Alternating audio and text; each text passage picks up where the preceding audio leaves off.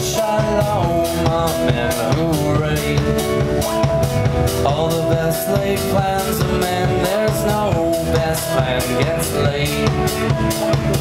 I'll take this bar for instance, I come from any distance to toast your health, to toast your wealth.